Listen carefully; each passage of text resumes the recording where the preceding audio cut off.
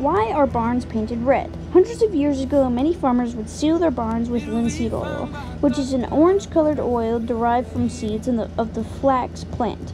To this oil, they would add a variety of things, most often milk and lime, but also ferrous oxide or rust.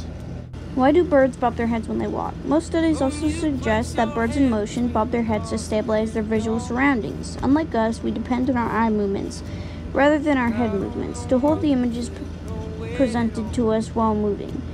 The back and forth movement is not random head bobbing.